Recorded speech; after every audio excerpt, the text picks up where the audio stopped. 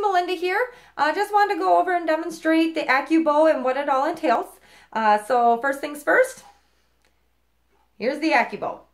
Um, it's basically an archery strength training aid to help uh, with building your muscles and um, helping with your stability. So uh, first things first, it is ambidextrous. So if you're left-handed, you can use it. If you're right-handed, you can use it.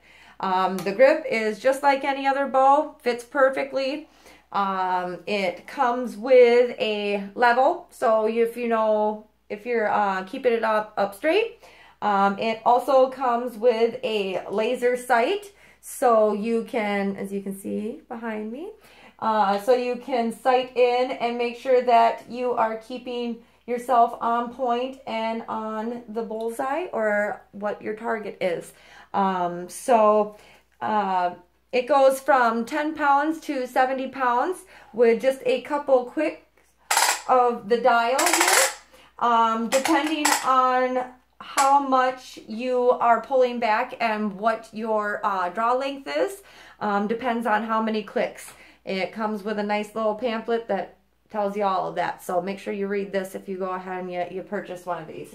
Um, the other thing is it comes with a D-loop. So this D-loop is detachable. So if you don't want to use your release that day, you don't have to. Or if you forgot your release, it's not a big deal. You can still work out with it. Um, so myself, I'm going to go ahead here and use my release.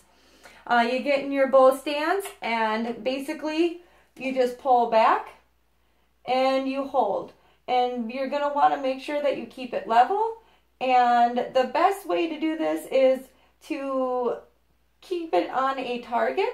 So if you can tell here, I'm trying my best to keep it level and to keep it also on the bullseye.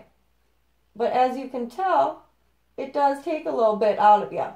So, um, one of the really nice things that I like about this is you can let up off of it. You can dry fire it as many times as you want. Um, these elastic, uh, these elastic bands, you can order them online. They have replacements. It's a real simple, fast takeout of here. Um, instructions are in the manual.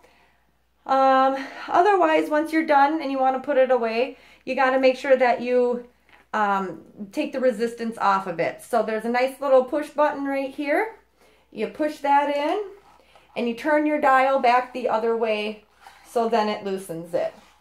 Once you see that it goes limp, goes loose, you know that it's okay to go ahead and be put away. And again, you always want to make sure that you have your laser sight turned off too because the batteries will die in it. So um, if you guys have any questions or you know, you, you're interested in purchasing one, go ahead and private message me or go ahead and uh, comment on the video here and we'll get you all started up. But this is a great, great, great piece of equipment. It's really kind of cool.